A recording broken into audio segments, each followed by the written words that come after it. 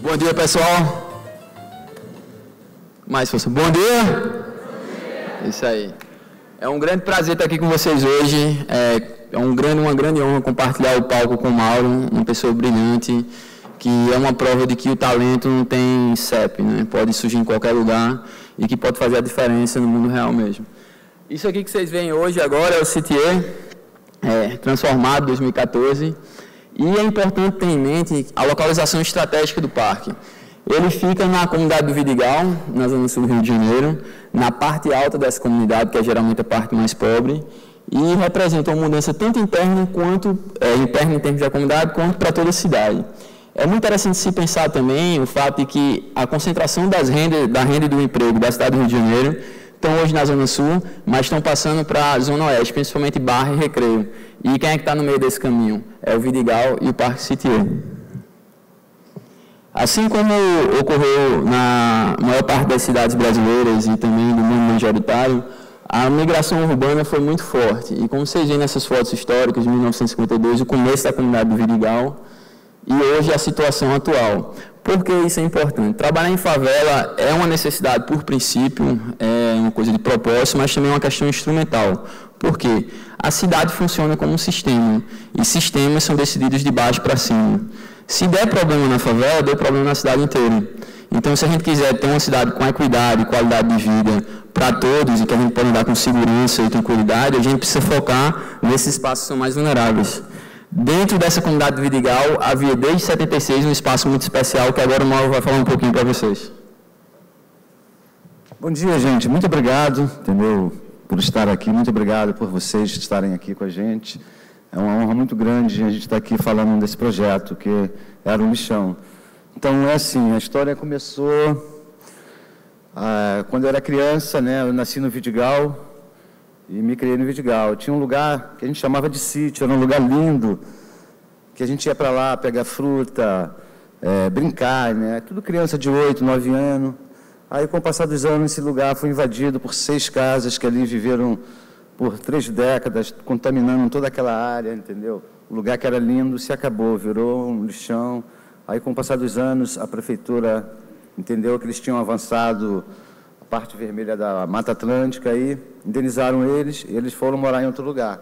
Aí a prefeitura veio e quebrou as casas e deixou entulho já junto com o lixo que ali já existia, né? E, desculpa, aí, é, desculpa, Mauro. E só uma introdução. Quando a prefeitura veio, foi durante o programa Favela Bairro. Sim. E ao mesmo tempo que eles fizeram o que o Mauro falou de quebrar a casa e deixar os entulhos lá, incentivando o aumento do lixão, eles também fizeram uma obra de espaço público nessa qualidade que você vê aqui é, totalmente desnivelada e é nesse espaço hoje que as crianças jogam futebol, correndo risco de se machucar o tempo inteiro.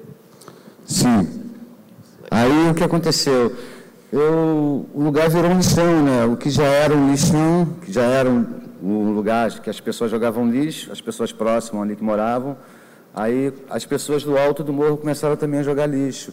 Aí virou um lixão, né? Eu tinha vergonha de morar ali, que antes de chegar na minha casa eu tinha que chegar passar por esse lixão, né? As pessoas jogavam geladeira, fogão, aí chegava no verão, jogava cachorro morto, animal, era mau cheiro, eu queria ir embora, eu queria vender minha casa, eu não me sentia bem ali, né? Aí, na época, eu procurei as autoridades, me prometeram ajudar, não ajudaram. Aí, uma vez, eu muito deprimido com aquilo tudo, conversando com um vizinho meu, chamado Paulo, que está ali na plateia, Aí ele me incentivou, pô, vamos começar nós dois. Eu falei, como, cara? 16 toneladas de lixo, lixo de 30 anos, lixo enterrado, entendeu? Lixo na superfície, como que a gente vai fazer isso? Ele, ah, não sei, vamos começar, entendeu? Ele me apareceu com dois facões, aí começamos a limpeza, né? Tiramos o cipó, os espinhos para tirar as bolsas, né? achando muito ninho de rato, quer dizer, lixo sobre lixo, né? Aí foi indo, nós conseguimos, a coisa que começou só com nós dois, de repente virou Virou uma bola de neve, né? Começou a aparecer voluntário de todo lado para ajudar a gente, a comunidade, né? Tinha dia que vinha um, tinha dia que vinha três, tinha dia que vinha quatro. Tinha pessoas que ficavam com a gente lá um ano, dois anos, depois desaparecia, apareciam outros. E muitas vezes eu fiquei sozinho e segurei a onda até aparecer mais alguém e me ajudar. Quer dizer, então, foi um sofrimento. Tivemos muitos momentos de depressão, de de querer desistir, a minha família me chamava de louco, a minha filha, pô, cara, você está mexendo com lixo, está tudo sujo, não tem luva, não tem nada, com esse montão de maluco aí trabalhando contigo.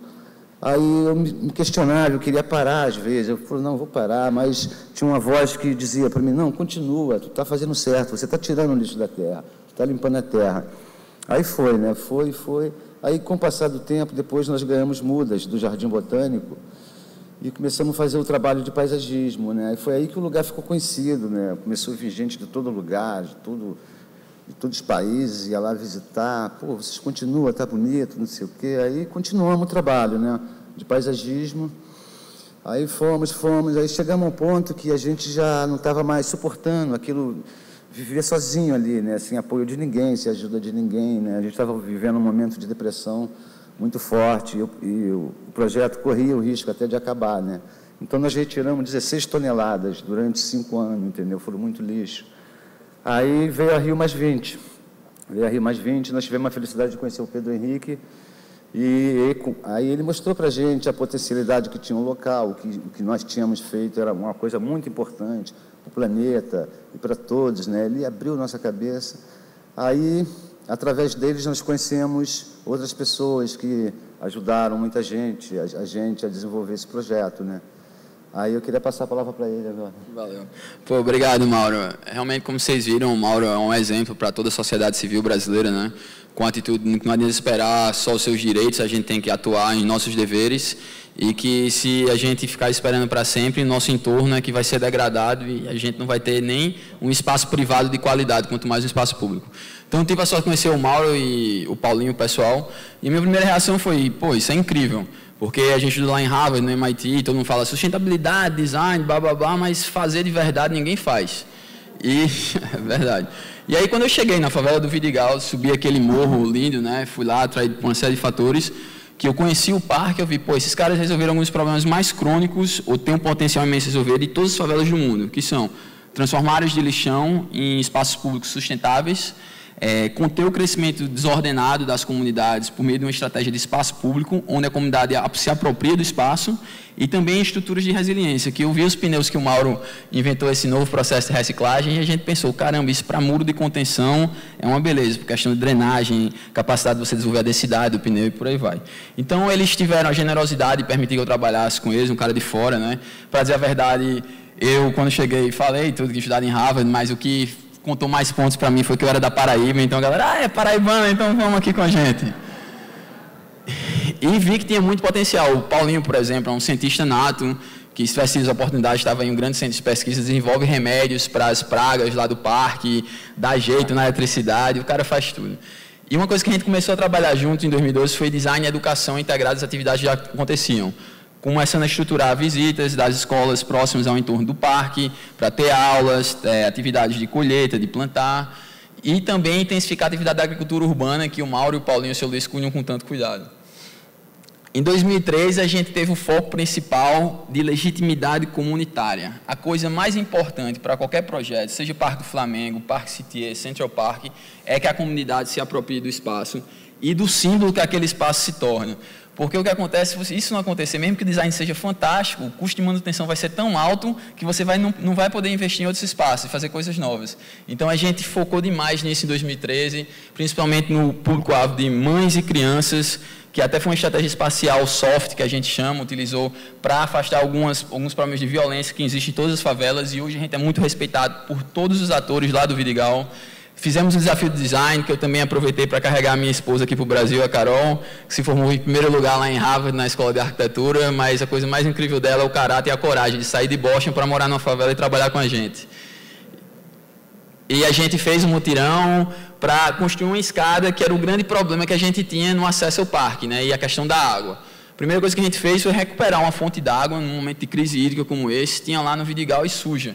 Então a gente fez, pô, vamos recuperar isso, vamos usar essa fonte para irrigar o parque e fazer a escada de contenção é, na descida. Porque o que acontecia? Quando chove, vira uma cachoeira.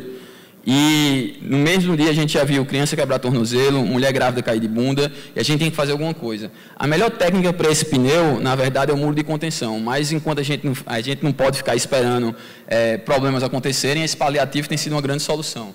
E foi muito bonito, porque a gente conseguiu integrar é, 150 pessoas, metade do asfalto, metade do morro, subiram engenheiros é, aprendendo com o Mauro como fazer a de, a técnica de reciclagem do pneu. Está aqui a imagem. Essa aqui era a situação antes. Essa vala fica cheia de água, parece um cachoeira quando chove. E depois, dois dias de trabalho de chuva. A gente entendeu que o mutirão era muito bom para agregar pessoas de fora com dentro da comunidade, entretanto, deixava a desejar na qualidade da construção. Então, a gente focou na questão da legitimidade comunitária com outros tipos de atividades, voluntariados mais focados em atividades menos complexas e com menos risco, e focar principalmente na profissionalização do parque. Aqui algumas imagens do que a gente fez no mutirão, pode passar. Então, qual foi nossa é, teoria de mudança? O Mauro é um cara muito trabalhador, muito cri-cri, né? Como eu gosto de falar, chato, mas não é nada de chato, ele é profissional. Então, a gente queria provar que dá para fazer meritocracia na favela juntando que tipos de atores? Três atores fundamentais. Comunidade, que é o mais importante, expertise, tem que saber fazer, e não é porque é favela que a gente tem que fazer de segunda qualidade, a gente tem que fazer de excelência, melhor que outros lugares, até para provar que o talento lá é tão bom como qualquer outro, e o capital inteligente, para poder dar aquele investimento de cimento, a gente poder ganhar corpo e andar com nossas pernas. Essa aqui é a equipe Vidigal, o seu Luiz não pôde vir hoje, e o Manel, mas são parte fundamental da nossa equipe. A gente deu um trato no parque, cuidou de coisas simples, né? como a regar as plantas, o paisagismo, a qualidade da limpeza, que é fundamental, e também aquela teoria da janela quebrada. Se você tem um espaço limpo, a galera não vai sujar. Mas é. se está sujo, todo mundo vai ter um incentivo para jogar mais coisa ali. Então a gente começou esse trabalho, teve uma série de reconhecimentos, e muito legal foi que o parque, que tinha um metro, um 1.100 metros quadrados de área construída, passou em um ano a ter 3.200 metros quadrados de área construída só com ganho de produtividade e com menos gente trabalhando no parque. Foi quando ocorreu o investimento em cimento também do Instituto PDR, que foi fundamental. Hoje a gente começou a expandir e ter um sonho grande. Sonhar grande e sonhar pequeno dá o mesmo trabalho, então a gente vai sonhar o maior que puder.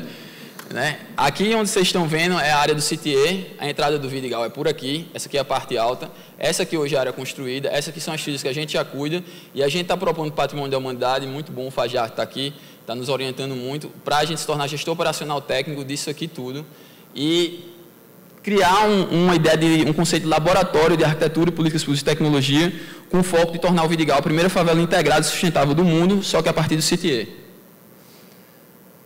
Esse ano a gente focou muito na questão da institucionalização, tanto formal como informal, é, do parque como Instituto Meio Ambiente, Arte e Tecnologia e Parque Urbano, né? contando com o grande apoio dos nossos parceiros principais, a FGV Direito Rio, na clínica que o Guto está liderando, cinco professores, 17 alunos. É, Arc Futuro, que trabalha com a questão de inteligência distribuída, de projetos urbanísticos, de parques, com a gente sempre, além de orientação na parte de gestão mesmo. O Instituto PDR, que é um instituto focado em inovação social. E o Mais D, que é o nosso estudo de design, que é o parceiro de design e de pesquisa acadêmica do CITIE. Então, o que a gente procurou fazer esse ano? A gente é informal, está se tornando uma associação, quer se tornar uma associação em parque urbano, para depois virar um OCIP e, e OCIP Parque Urbano, no mesmo modelo de gestão do Central Park. A prefeitura é a dona do solo e nós somos gestores operacionais técnicos.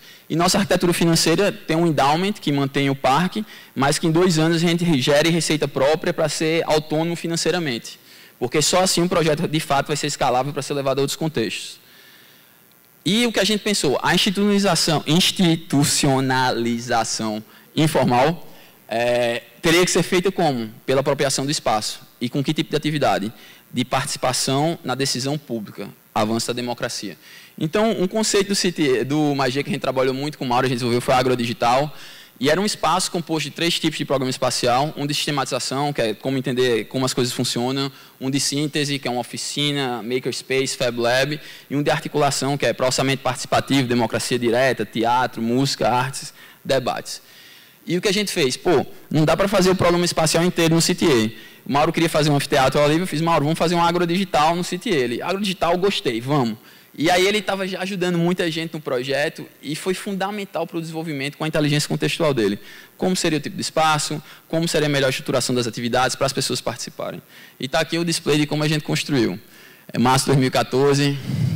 Mauro, fala um pouquinho para o pessoal como é que é esse processo de reciclar o pneu e a gente botar aí para eles entenderem o trabalho que é. Bom, o processo é assim, ao limparmos, nós achamos muito pneu, porque na parte alta do morro havia uma, uma borracharia. Aí, com o tempo foi desativado, as crianças começavam a rolar pneu. Então, ao limparmos, nós achamos aproximadamente uns 100 pneus, e a gente não, não sabia o que fazer com tanto pneu, porque o lixo todo mundo levava, pegava no saco, agora o pneu era uma coisa complicada, que tinha água, era sujo, Aí ninguém sabia o que fazer com os pneus. Aí um dia eu brincando com os pneus, eu entendi que dava para fazer escada. Entendeu? Aí o que, que nós fizemos? Nós tiramos todo o entulho das casas que foram quebradas e colocamos dentro dos pneus. Né? Além de a gente usar o pneu como escada, viabilizar os locais onde a gente precisava ir para cuidar, a gente tirou o entulho e colocamos dentro dos pneus socado com uma reta. Cada pneu desse demora aproximadamente uns 15 minutos para ser pronto. Que não é só jogar terra, é socar, entendeu? Várias vezes, até ter certeza que. E ele atinge uma média de 70 quilos, entendeu? 60 quilos. Isso. Sim, aí também nós começamos a usar o pneu é, no paisagismo também, né? Essa é uma muralha, depois vem outras, quer dizer, em horta, começando a usar em várias Uma coisa interessante, né, Mauro, que foi um sinal do grande sucesso da técnica que esse cara aprimorou. Já existia técnica, mas ele melhorou com a questão do entulho no anel e tudo mais, a densidade. Foi quando a gente chegou no meio da muralha, acabaram os pneus no Vidigal. As nossas, as nossas fontes de pneu não tinham mais pneu porque outras pessoas da comunidade começaram a fazer estruturas com pneu reciclado. Nas suas casas não tinha negócio. Então a gente pensou, pô, lascou, mas que coisa boa, né? Todo mundo está usando, está reciclando. Então a gente teve que ir no cemitério de pneus no Mercado São Sebastião, na Zona Norte, que é um lugar assim que você lê em livros de literatura do começo do século XIX, Velho Oeste, muito interessante, e descobrimos a fonte e trouxemos 300 pneus para terminar a obra. Vou passar aqui rapidinho. Seu Luiz, a nossa máquina de trabalho, 63 anos, nenhum novinho consegue aguentar o ritmo dele, é impressionante. É. E uma coisa muito importante para a gente foi aliar o conhecimento contextual das pessoas que estavam lá no parque e são da comunidade e que estavam dizendo, não, vamos fazer, é grande, mas é bonito mesmo, e é assim. E o Richard Serra, que foi visitar o parque por meio da interminação da Marisa do Tomás, e que olhou para o Mauro e fez, pô, gostei mesmo do desenho, interessante o desenho da muralha. E olha, eu só gosto de coisa grande, então quando fizer coisa, façam grande. Então, pô, para a gente ter esse apoio, essa motivação do, de alguém como o Richard Serra me deu muita confiança para a gente trabalhar junto e ter cada vez mais ousadia, né? um risco calculado, mas com resultado. E aqui está a muralha, construída em 2014, ainda falta fazer o piso, mas ela é toda drenada, já tiveram várias chuvas torrenciais no Vidigal, não mexeu um pedacinho da muralha, é uma grande fonte de orgulho, porque ela foi desenhada realmente não só para ser escalável, mas para ser altamente funcional. E fazendo um, uma estratégia dupla por meio do design. Ela serve tanto como estrutura de resiliência para o risco de erosão devido à água, é, de contenção exatamente, como espaço público de lazer e atividades culturais e de, de democracia no, na comunidade do Vidigal. Aqui a codificação, né, para ganhar escala, se qualquer um de vocês quiser fazer uma muralha dessa em casa ou na fazenda de vocês, então, a gente fez é, o, o, código básico, geralmente, a altura e base, é que a base seja pelo menos metade da altura. A gente quis ter mais segurança, que era uma área bem íngreme, e fez 2,20 por 1,80. Opa, você está vendo aqui? E fez aqui embaixo uma escadinha de concreto, que a gente prendeu cada pneu a parte inferior com esse concreto. Então a gente evoluiu a técnica usual que a galera corta o pneu, que fica horrível, perde a densidade dele e a compressão, e amarra com cordas, uma coisa bem arcaica, e fez essa coisa já mais evoluída com é, o concreto e os pneus em cima. Né? Foram 386 pneus, cada pneu 60 quilos, dá um total de 23 toneladas de material reciclado e 112 metros quadrados de área plana, um lugar que não era nada, basicamente. Aqui hoje. E o fato é que o quê? Tudo bem, a gente desenvolveu esse conceito da agro digital, que está influenciando aqui no Brasil e fora também. A prefeitura, inclusive, lançou o Agro Rio, depois que a gente deu ao prefeito o livro da agro digital. Em New York, o Bloomberg já teve interesse, em Harvard, em MIT. Só que a gente não pode ficar esperando é, a morte da bezerra né, para fazer o prédio ideal como a gente quer lá no CTA. Então a gente pega o que a gente tem, que é lixo, transforma em material reciclado e estrutura e faz esse espaço de articulação que é esse aqui na prática. E o que é que a gente tem feito na prática lá? Na inauguração recebemos a Marina Silva, tivemos um diálogo sobre sustentabilidade, essa crise hídrica que está acontecendo e o contexto urbano. Ela não era nem candidata a nada, foi ótimo, off the record, a comunidade caiu em cima na sabatina. Ela até surpreendeu, mas foi muito bom. O Mauro, o pessoal recebendo. Um debate muito acalorado sobre a UPP, a visão de dentro, a visão de fora. Importante haver esse encontro. E aqui o paisagismo que o Mauro vai falar, como é que ele faz para deixar essas flores tão lindas. É, o paisagismo é uma coisa que eu gosto muito. Eu sempre tinha vontade de fazer, mas nunca tinha oportunidade. Então, com esse trabalho, com essa limpeza, eu comecei a botar em prática o que eu sempre gostei de fazer, que era trabalhar com pingo de louros, fazer desenhos ornamentais com as plantas. Então, esses canteiros, esses canteiros são cuidadosamente muito bem cuidados, a gente acorda de manhã, antes do sol bater, a gente tem que molhar, porque esses aí são lírios, qualquer sol que bate nele, luz normal, ele fica preto. Então a gente tem que plantar ali na sombra e molhar três, quatro vezes por dia para ele ter essa beleza que vocês estão vendo. Né? É, ali são os pneus, que a gente planta também dentro dos pneus, né? É, ali a minha mão, isso aqui é um arranjo de. É um arranjo de. é uma rede de, uma montagem de, de, de é, bico de papagaio, não, digo essa parte aqui, é vaso de água, né, aqueles, aquelas, aqueles bujão de água, né, eu corto no meio e faço um cálice a gente usa também, além de usar os pneus, né, e ali em volta tem o pé de umbaúba com os bambus amarrados também, que a gente não corta árvores, a gente só planta árvore. Esse espaço todo branco que você viu ali, onde a água, havia um barracão há muitos anos, entendeu? Então eles derrubaram o barracão ficou aquele espaço. Então o lugar ficava vulnerável. Toda hora que chovia, caía barranco embaixo em cima, e se criou um valão. Né? Então com essas duas muralhas, a primeira muralha de que é com plantas, e depois a outra que eu e Pedro desenhamos, fizemos, ela serve para aquela água que descia, aquela alavanca, a água desce assim. Entendeu? Então, quando a água chega lá embaixo, ela não atinge mais. Então, a gente começou a fazer horta, paisagismo, através desse trabalho, dessas contenções, que era impossível a gente plantar uma ladeira assim, entendeu? E o paisagismo, para a gente, é a coisa mais importante, porque foi através do paisagismo que nós ficamos conhecidos, né? Quer dizer, o mais importante de tudo foi o lixo, né? As pessoas chegam lá no Citier, aí olham plantas bonitas, é, é, design, acha tudo bonito, mas bonito foi tirar o lixo, entendeu? Então o Citier tem um foco, as pessoas chegam lá ver aquilo ali, mas o nosso foco é o lixo.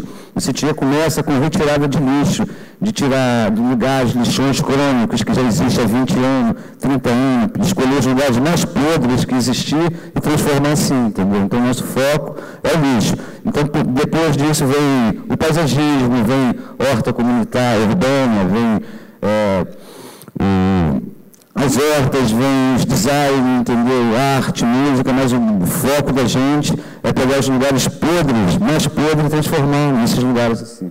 Legal, Mauro. Show de bola. E esse paisagismo aqui é muito especial para o Mauro. Pode falar por quê, Mauro? É, esse paisagismo aí foi uma das primeiras coisas que nós fizemos. A gente entende que o sitiê é um corpo e essa parte é a nossa face. Né? É a face do sitiê. Que a gente cuida com o maior carinho. A gente mantém esse design já desde o começo que é como se fosse nosso, o nosso rosto. É, e aqui algumas é, outras práticas de Mauro, por exemplo, né? a questão da agricultura urbana aqui ao lado, um carrinho de mão. O Mauro também faz design industrial com essas mesas de área de bicicleta, que já evoluíram um novo produto nosso. E uma imagem linda da jaca que esse ano é, parece mel brotando das árvores lá. Né? É. Aí o Maurão com o seu Luiz na nossa horta, que é uma beleza. A gente tem um sonho de fazer um café-restaurante lá, que você pode ir almoçar, escolhe sua salada. Depois de escolher a salada, você vai lá na hortinha, pega a horta, escolhe seu alface. E é aquele alface que vai ser preparado para você comer. Né? É um sonho da gente mesmo. E também, lugar nenhum presta se não tiver comida. Então, aqui a gente colhendo abóboras, o Paulo faz uma carne seca com abóbora, que é uma maravilha, cheio de pimenta e chuchu lá, tá linda a horta, estão todos convidados a conhecer. Outra coisa que a gente trabalha é tirar esse conceito de que lixo não tem valor. A gente quer mostrar que o lixo, com criatividade e competência, pode ser tornado em luxo. Então, esse foi um design que a gente fez junto, é, eu, o Mauro e a Carol, com o apoio do Paulinho e do seu Luiz também. E a ideia central era pegar esses aros aqui, que são lindos, a forma mais perfeita do universo, na minha opinião, a circunferência, e estavam no lixo, e a gente botar eles em evidência como se fosse numa moldura de madeira recuperado alguma parte e outra nova que a gente comprou mesmo para dar um valor estético ao CTA. A gente tem uma venda também, uma receita de design industrial. E a gente está muito feliz que a gente fez esse corrimão agora. Ele foi desenhado também brincando com a escola Bauhaus, né? Ele tem três retângulos que lembram o quadrado, tem um triângulozinho aqui na mão francesa e tem a bola. Então a gente fez isso também. Aqui uma imagem. Aqui as crianças brincando, que são as grandes donas do parque. Né? A Giovanna e a Gabi, o Gabriel, que são filhos do seu Luiz. As aulas que a gente faz de design matemática com as crianças também. E os resultados, que é o mais importante, porque projeto, muitos projetos falam, ah, que legal, fizemos isso, aquilo, mas sim, e aí, o que, é foi de concreto? 8.500 metros quadrados de área recuperada, 21 alunos entre 5 e 10 anos, dois profissionais de período integral, um de meio período, 1.105 membros da comunidade diretamente atendidos, com diminuição de risco de infecção respiratória devido ao lixão, 3.124 visitantes da comunidade, 5.842 de fora, demonstrando o alto potencial turístico do parque, mais de três trabalhadores pro bono, seis uh, hoje, na verdade, e mais de 700 quilogramas de verduras e frutas que a gente doou à comunidade.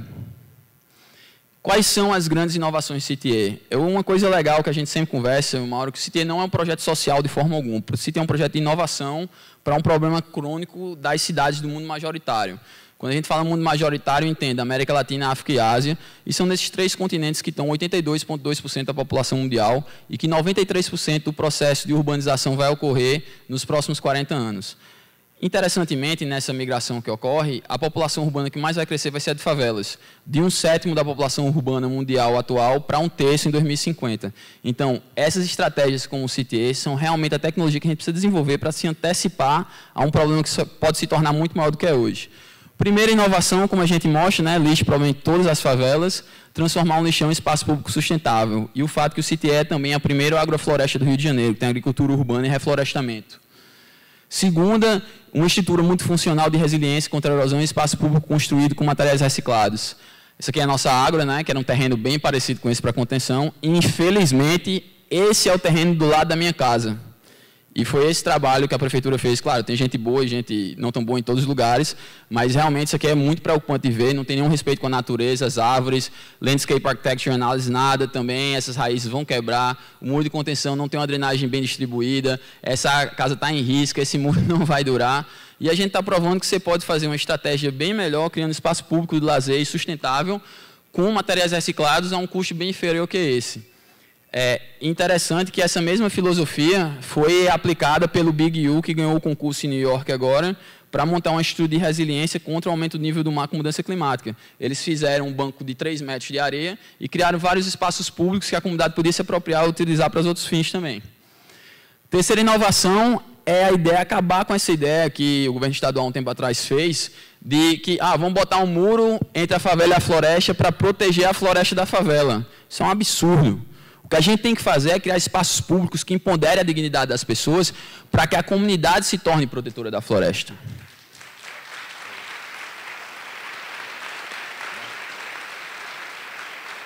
Obrigado. E é muito boa essa foto aqui, que a Gabi, filha do seu Luiz, é uma das crianças mais inteligentes e marrentas que você vai encontrar. Então, ela olhando com essa cara é muito especial. Outra coisa fundamental que a gente queria provar, e nesse caso eu e Carol realmente tinham um drive muito forte, era que pode-se fazer inovação de ponta no mundo hoje, que o Google vem atrás, MIT, Harvard, Oxford, quem quer que seja, a partir de uma favela. Acabar com essa dicotomia ridícula que existe no mundo da arquitetura, que design social é design de segunda qualidade. Não, esteticamente a gente é capaz de fazer tão bom quanto vocês, só que nosso foco principal, além de ter um prédio bonito com uma fachada elegante, é que ele sirva de fato ao propósito dele de melhorar a vida das pessoas. E foi muito interessante que o Alejandro Echeverri, criador do urbanismo social e nosso amigo, né, Mauro, criou um grupo de arquitetos uh, e urbanistas mundial que lembrava o CIAN em termos de filosofia, não de filosofia em si, da técnica, mas do conceito de juntar pessoas de excelência para uh, colaborar. E escolheu só dois escritórios de arquitetura no Brasil. Um foi do secretário de urbanismo de São Paulo, Melo Franco, e o outro foi o nosso lá na favela do Vidigal, Mais D. Outra coisa muito especial foi que a Ágora Digital, é, Mauro, Paulinho, a gente ficou muito contente, foi publicado como um case de inovação e democracia no livro da Susan Crawford, diretora do Centro para a Internet e Sociedade de Harvard, e do Stephen Goldsmith, diretor do Centro para a Inovação e Democracia, como uma das import mais importantes inovações pela democracia nos últimos 10 anos. E foi interessante de ver que essa parceria só ocorreu de verdade por causa do Parque Citier que nosso treinamento foi integrado à inteligência contextual da comunidade. E a própria criação do espaço como seu desenvolvimento só foi efetivo e está sendo por causa disso. E a gente ficou muito feliz que Harvard mandou uma carta para a gente, chegou alguns dias atrás, em que eles agradeceram é, a nossa contribuição ao avanço do conhecimento e da prática da democracia integrada à tecnologia, que é uma coisa que, para uma equipe nossa, junta com a galera do Vidigal, é realmente muito especial. E a quinta inovação é que é a primeira digital do Rio de Janeiro. A gente tem uma proposta de que é, a população tem que ser envolvida diretamente na decisão do seu espaço. Porque como é que vai haver uma mudança cultural se eu não sou dono desse processo de mudança? E como é que eu vou cuidar desse espaço se eu não sou dono dele? Alguém aqui já, você, algum de vocês já lavou alguma vez um carro alugado? Ninguém lava carro alugado, porque não é seu. A mesma coisa com espaço. Então, nós temos uma estratégia de ganhar escala, que na verdade são duas. A primeira, por meio do Instituto CTA, a gente quer preparar pessoas que aprendam nossas técnicas e vão para os seus contextos, que eles conhecem melhor do que nós, e desenvolvam soluções parecidas com o CTA lá. Mas outra estratégia de escala que a gente tem é um modelo de chapters, né, de unidades que o Sierra Club faz muito bem nos Estados Unidos.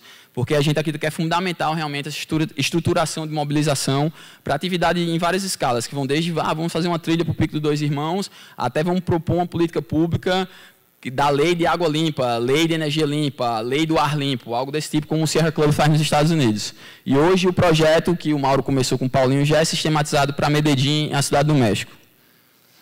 Aqui está o Vidigal, né? e você vê como é urgente a necessidade por espaços públicos. Aqui é o CTA, e espaços públicos verdadeiros só tem a entradinha, que é onde a ágora conceitual foi desenhada, e duas quadras em cima e mais nada. E as três escolas estão na parte baixa. Então, é extremamente necessário ter algo como o CTA no Vidigal, especialmente numa comunidade tão densa. Eu não sei se vocês sabem, acho que a maioria aqui deve saber, que no Rio de Janeiro 20% da população mora em favelas, que é 1,3 milhão de pessoas. E esses 20% vivem em 3,5% da área construída. Então imagina você viver que nem uma sardinha sem nem, ter nenhum espaço público. O que isso prejudica? Inclusive o crescimento das crianças. Porque existem alguns músculos que, para serem desenvolvidos e são fundamentais para o crescimento, você só pode desenvolver em espaços planos. E a ausência de espaços planos prejudica o desenvolvimento físico dessas crianças vulneráveis. Então, o que é que a gente decidiu fazer? Ah, vamos aplicar o design. Nossa matriz de design é que o mais importante são sempre as pessoas, e nós, pessoas, estamos em interação em um espaço, e a gente trocou tanto conhecimento com essas outras pessoas nesse espaço, que a gente começou a transformar esse espaço em instrumentos. Isso avançou tanto que a gente conseguiu criar tecnologias novas que criaram um novo tipo de espaço, o digital. Então, quando a gente no Mais D vai desenhar qualquer coisa, esses são os elementos que a gente sintetiza. Nosso processo é pesquisa, embasar o design com evidência, é, o design, né, incorporando isso, e desenvolvimento. E a grande diferença é que quando a gente começa o primeiro processo de desenvolvimento, a gente começa o segundo processo de pesquisa. E aí esse aprendizado que ocorre no desenvolvimento já é incorporado na segunda versão do design. E é isso que a gente faz no CTA. A gente faz um espaço, pesquisa, desenha, testa, analisa se teve resultado, já muda a versão design de uma função espacial aproximada para outro espaço.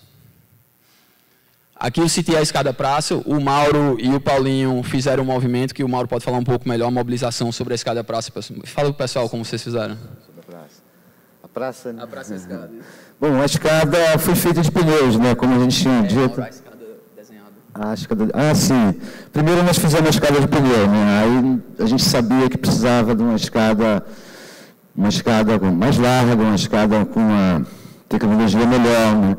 Aí eu sempre falava com o Pedro, poxa Pedro, desenha a escada. Pô, aí ele sempre, não, eu vou desenhar, não sei o quê. Eu falei, pô, cara, desenha a escada, desenha a escada. Aí, até que um dia ele começou, né? Ele desenhou a escada. E, e essa escada, ela, ela, quando foi, Pedro, nós estivemos com o prefeito, né? Ele prometeu a gente a fazer essa escada, ele achou interessante o nosso trabalho. E Pedro desenhou, desenhou a escada e depois ele fez a praça, que a praça era um problema também, que a praça toda aí, as crianças correm e ficou com a coluna torta, porque eles não fizeram uma praça plana, fizeram assim, né? É, fizeram um serviço sem tratar o cidadão lá como cidadão de direito pleno, né? Que qualquer serviço de má qualidade é bom porque ali é favela e tem que ser assim. Então, eu queria dizer que eu desenhei a praça, obrigado, mamãe, desenhei junto com o Carol, né, com a minha esposa, e a gente realmente trabalha junto porque se ama muito, porque o nível de crítica interno é muito mais alto que qualquer outro lugar. E a ideia aqui foi justamente a gente fazer a praça um espaço flexível plano, multifuncional, né, que essa área podia ser desde para futebol, para baleada, para vôlei com rede temporária, uma pista de street skate, não de half pipe, mas de street também, com essa rampinha e essa outra rampa aqui, para as crianças andar de rollerblade. E esse espaço aqui que serve tanto para atividades culturais, como shows musicais, para debates, para peças de teatro, entre outras coisas. E você, quando chegar lá na, no, na praça, você pode entrar tanto pela escada como pelo escorrego, aí fica com o espírito jovem de cada um. E aqui é a escada. É, Aqui é alguma visualização da praça. A gente fez uma estratégia de design, uma construção romana, né, totalmente antiga, já para simplificar para a prefeitura.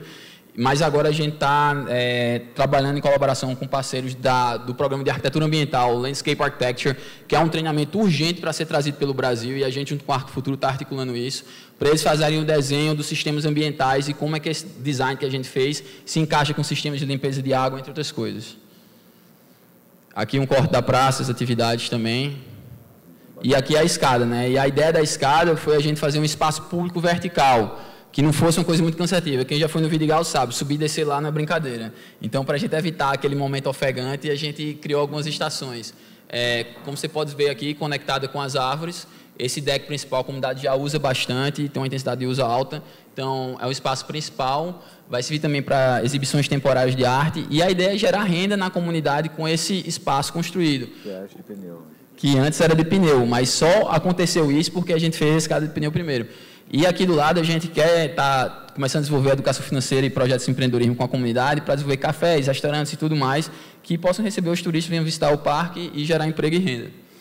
Aqui é a escada e com a praça. Quis dar um senso estético ela também. Gosto muito dessa escadinha.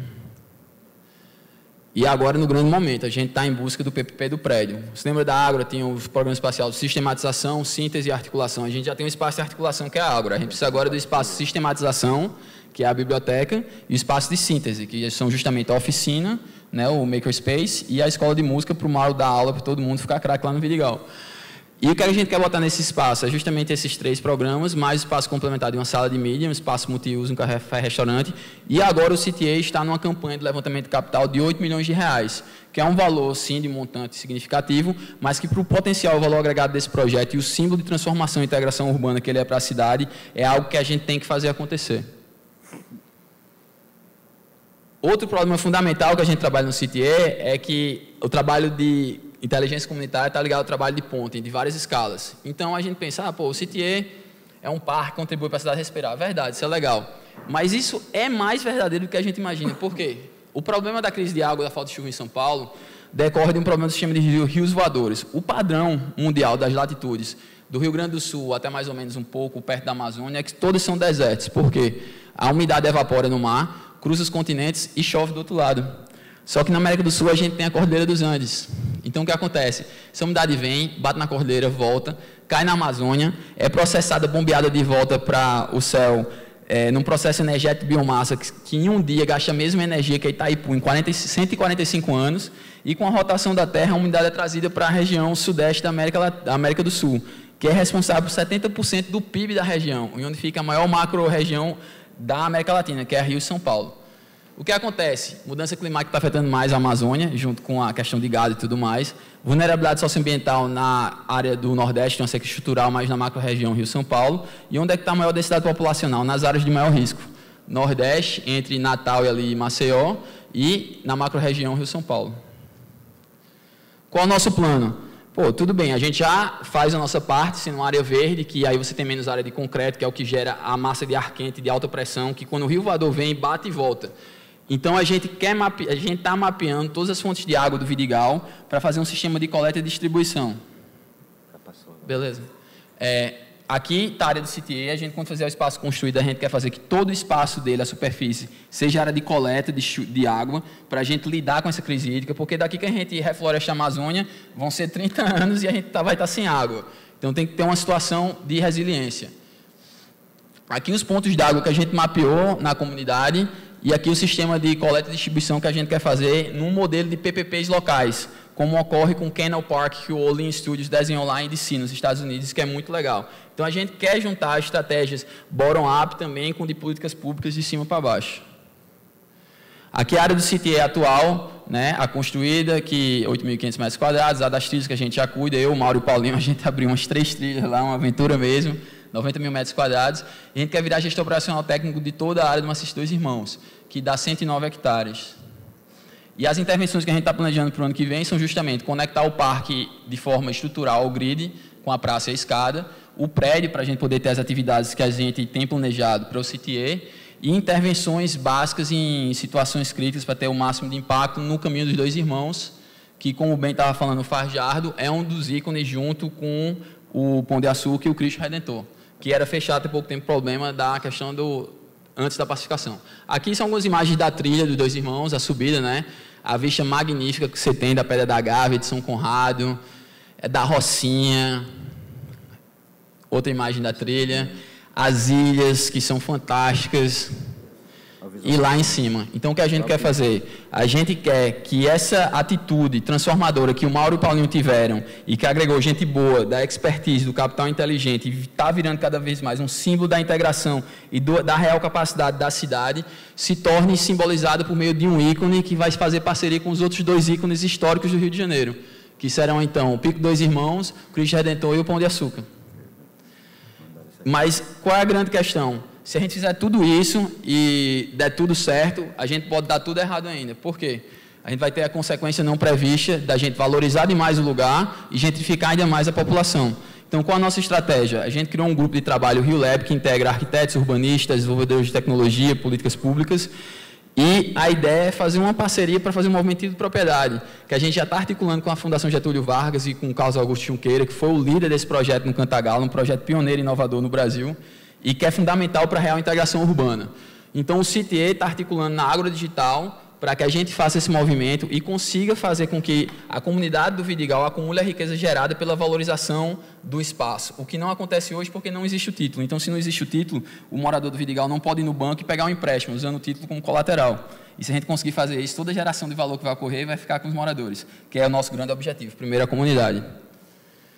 Aqui, essa área do Vidigal que não tem de propriedade, essa área que tem. Aqui a gente lá na Aura Digital, o Feijão também, o Guto, o Mauro, a gente debatendo as questões. A Margaret Day, um grande artista, um projeto brilhante na Rocinha, expondo para os outros fotógrafos. Esse aqui é o nosso parque. E eu queria realmente homenagear esses dois caras. Eu queria chamar o Paulinho para subir aqui também. Paulinho, por favor. Vem, bate palmas que eles merecem. Queria chamar a Carol também, que está lá com a gente no Vidigal, sofrendo sempre.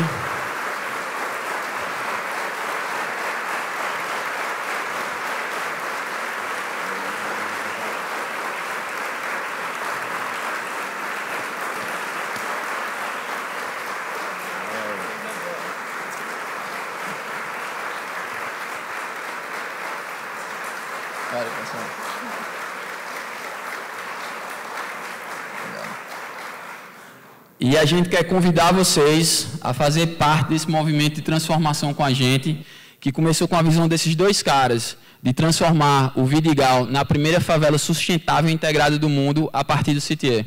Muito obrigado.